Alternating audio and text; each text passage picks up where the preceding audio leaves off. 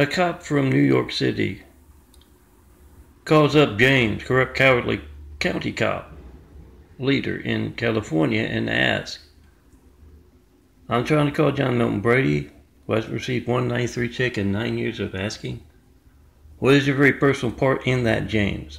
Why are your corrupt deputies in Eagle Rock at 6 o'clock in the morning conducting harassment techniques?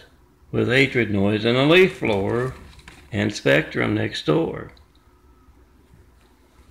What do you know about John Melton Brady asking for 93 checks for nine years? What is your active part that is contributing to the, uh, was part of the attack from the outside before they placed Hussein on the inside? Why are you kissing Saudi Arabian butt? What's your active participation? Guess his reaction to hijack Lifeline and Post.